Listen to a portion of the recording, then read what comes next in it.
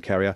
I'm joined by the Federal Treasurer, Joe Hockey. Good morning. Good morning, Chris. Just to be clear on this, if this plant went ahead, there would be nothing to stop Qantas domestic arm being 100% foreign owned, nothing to stop the offshoring of maintenance, and nothing to stop its headquarters moving overseas. Uh, no, that's not right. The Air Navigation Act, uh, which will apply to Qantas, as it does apply to Virgin International, has certain restrictions on it, including a 49% limitation on foreign ownership.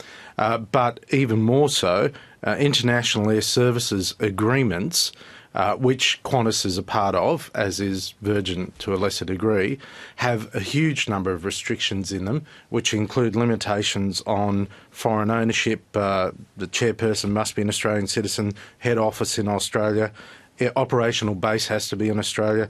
Uh, no more than 49% of the total value of the uh, issued share capital can be held by foreigners. So the restrictions apply, but what we are doing is removing the burden of a single piece of legislation that applies only to Qantas. And, and you know, the Labor Party in 2002 advocated this.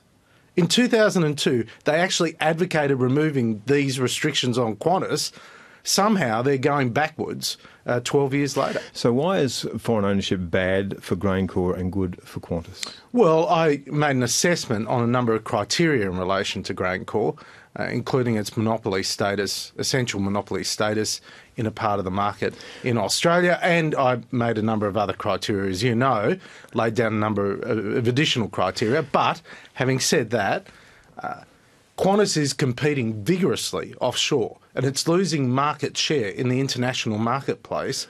And in many ways, it is constrained by its burden of costs here but in to Australia. To be clear, for example, if China decided that it wanted to take over Qantas, you could still stand in its way, even if you levelled these rules. Of course, because of foreign investment. I, I, we still have absolute discretion. So the government does in intervene in companies when it seems that it needs to. Well, we will prevent a foreign takeover of an Australian company where the takeover would be contrary to the national interest. Absolutely. Now, the government keeps raising the carbon tax as one of the main problems for Qantas, but the company itself says that's not its main issue at all.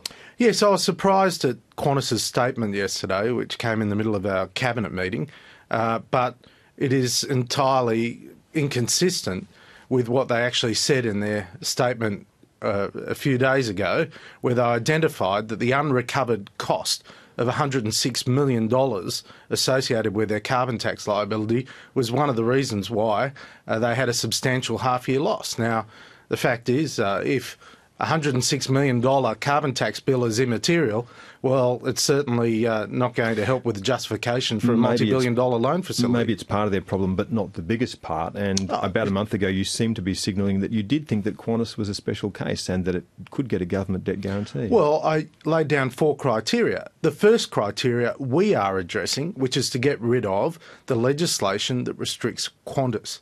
This is the biggest and most significant step forward for the longer term that we can undertake for Qantas. And we want to do it because we want to see Qantas survive and grow.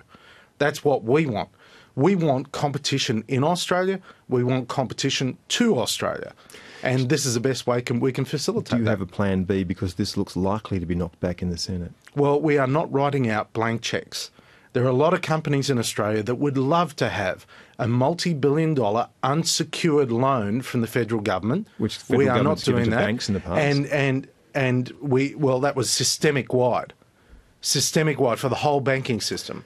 Now, we are not going to do that for an individual company. We are not going to guarantee billions of dollars of debt as every small business in Australia would probably want as well. Is this a plan for the revival of Qantas or also a plan to wedge the Labor Party? No, this is not about politics. This is about good policy. Labor used to believe in good policy. Uh, in 1992, the Labor Party privatised Qantas. Some of their own front bench haven't come to terms with that.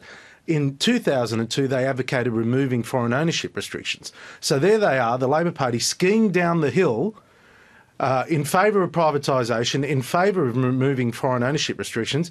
And near the bottom of the hill, Bill Shorten puts up his hands and says to his team, let's go and ski back up the hill. Finally, well, Treasurer, do you think that, that people are getting a little unnerved by the number of job losses that they see at the moment? Holden, Qantas, iconic companies. This unnerves people, doesn't it? Well, I'd say to the Australian people, This is the formula that delivers long term growth and jobs. This is the way to do it to allow business to get on with the job of business. A successful and profitable business employs more people. A business making a loss on a regular basis starts to sack people. And that's what's happening with Qantas. How is Qantas going to be profitable? Well, it has to be able to compete without the ball and chain of government regulation. Joe Hockey, we'll have to leave it there, but thank you. Thank you, Chris.